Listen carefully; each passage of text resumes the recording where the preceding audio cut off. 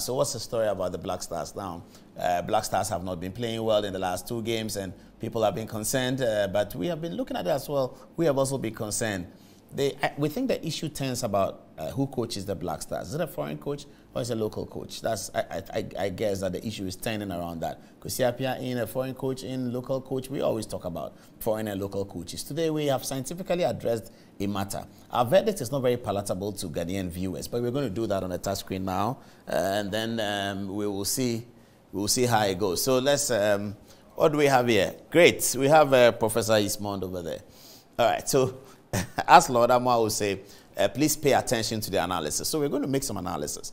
That comes all the way from the colonial era. And just a few hours ago, we are talking about the colonial era. We're going to do this analysis that comes from the colonial era to show why we may not be able to use an African coach to coach the Black Stars at this time. We call it an editorial, so we'll give you the editorial montage. After the montage, to the touch screen and the action begins. Welcome to our Good Evening Ghana editorial on the Black Stars.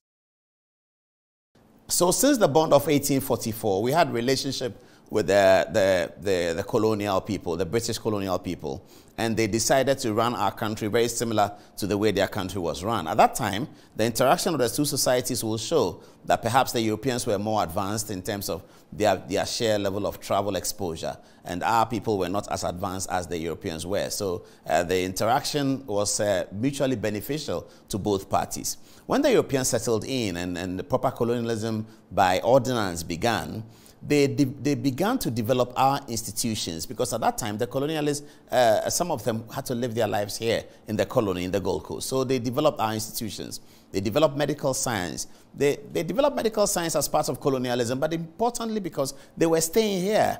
And when they got sick, at that time London was, was not six hours away, London was 10 hours away. In fact, London was two weeks away by boat from Takoradi. So if they were sick, they needed to be treated here. They had medical schools there. So they sort of set up our people to be able to go through secondary school here, go to medical school and learn medicine at that time, way back in the uh, uh, late 19th century. And then came legal practice. So the colonialists also uh, thought that they are here. They bring judges. So the judges were coming from London and staying here. So a judge is living here and is going to deal with the matters. And uh, sometimes they wanted the natives to be able to participate, to help they, the colonialists, to understand it better. So they encourage our young men and women and those who uh, studied and, and did well, they, sit on the boats, go to England, go and study law, and come back to practice English law in Ghanaian jurisdiction, Gold Coast jurisdiction. That's what happened. So uh, please pay attention. I'm just saying something very important. So the skills in medicine had been developed. Skills in law had been developed. They've developed skills in engineering and other things over the years. Now, these are scientific outcomes. Engineering is a scientific outcome. Medicine is a scientific outcome. Law is scientific outcome. And it requires long years of study. It requires a certain perfection in academic proficiency to be able to achieve it. Okay. So, because we started that a long time ago, because we started practicing medicine and doing medicine a long time ago, and I have here uh, Professor Eastmond. Professor Eastmond is the first uh, uh, qualified Ghanaian doctor. Don't, don't, don't get distracted. I'm still talking about football. I am very, very much talking about football. But, but I'm showing you Professor Eastmond, the first ever qualified Ghanaian doctor uh, to emerge on the surface of, I think it was 1918, something like that, when we got our first doctor. Uh, let me move on. This is uh, Sir Arku Korsah. Seako Kosa uh, was one of the earliest, foremost Ghanaian uh, lawyers, and he became our first Chief Justice. Now, Sir Arku Korsah became a judge of the, uh, of the, of the British jurisdiction even before independence. By 1957, Sir Arku Korsah was, was already a judge. If Sir Arku Korsah had continued that way, he would have gone to the Privy Council. He was sitting in Sierra Leone and other places for the British Empire as judge. That Sir Arku Korsah became a lawyer sometime in 1920. Uh, let's see who is the John Mensah Sarbah actually is the first Ghanaian lawyer. He became a lawyer in 1887. In 1887, John Mensah Sarbah had become a lawyer uh, for the um, the English bar. He was called to the English bar in 1887. That's how long. Uh, who else is on the chat? Uh, this is, of course, uh, the, the, celebrated icon, J.B. Danquah, who also became a lawyer in the 1920s according to the order of the British tradition. He was called to the Ghana Bar, the, the British, the English Bar Association. Okay, so now back to my point. Let's, let's, look at, let's look at it this way. Back to my point. So in Ghana, we've been practicing medicine that long, we've been practicing law that long, okay? If today we want a doctor, a highly qualified doctor. We'll find it in Ghana. We have many doctors in Ghana who can challenge their colleagues anywhere, America, Britain, anywhere.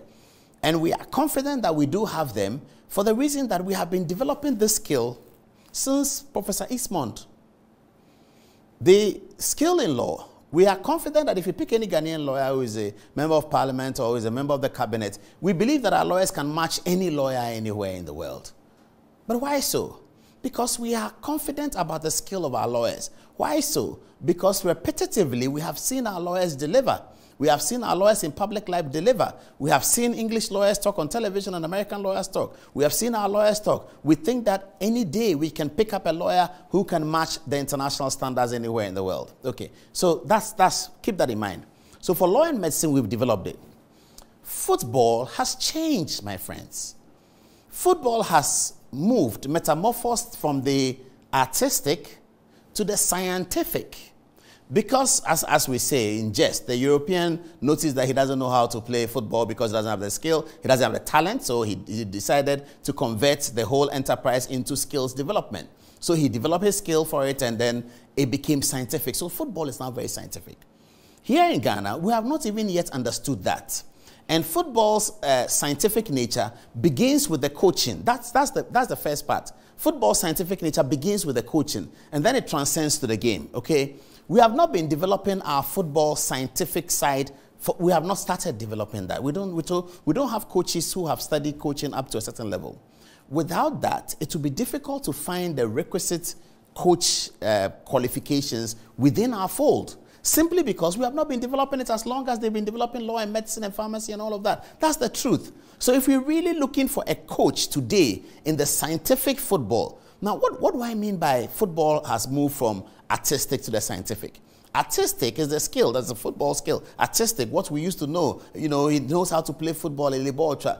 turning around, passing the ball in a certain way. Even totals, you remember totals? Even girls play totals. You put the ball on, um, you land it on, on your foot and then you hit it like that, you know that thing. And then you can do totals 100, you can do 200 and all of that. And sometimes if you're a boy and the girls do better than you, you get a knock from your mother or something like that. So, so that's the artistic of football. The football has now completely changed. It's scientific. A lot of hours has been spent by people in academic halls trying to design football as a scientific skill. For you to be able to understand the scientific nature of football, as the Brazilians did, you would have to go through that process. It takes a very long time. Let me show you an example of artistic football. This is the 1970 World Cup. It's a game between Italy and uh, France, I believe uh, and uh, no, Brazil and Italy, I think, and it was the grand final. This is artistic football. That's how football was in 1970. 1970 was the last time the, the, the, the, successful Brazilians won the World Cup before 2002. Brazil went through this process. They won the World Cup in 1970 for the third time. They didn't win the World Cup for a long time. They asked themselves, What is happening? They were told that your football is no longer artistic, it is now scientific. So the Brazilians had to get themselves into the mood of the scientific football before they could win the World Cup again. If Ghana wants to come back, we have to understand that football is now scientific. Have a look at artistic football, 1970.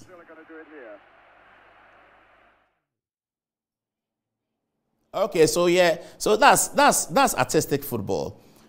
That is that is artistic football. That that's then you pick the ball, you can dribble three people, and you are still at the same place. You have not progressed. It doesn't matter. Now you can do that. Okay, at the risk of uh, uh, uh, uh having uh, uh, copyright problems, I'm going to show you scientific football. Today's football. Look at this. Look at this one. Quickly, it's coming up. Yeah, so that's it. That's England on the ball. This is a recent tournament. That is, that is them, England. Quickly, they are going with the Germans. Somebody crosses over there, a ball comes in, there, bam, finish, go, end of story. You see, 50 seconds from the center circle, they score the goal. They are done. You know, you know, from the center's area, 50 seconds, less than 30 seconds, is finished, they score the goal. That's scientific football. Now, scientific football does not just come.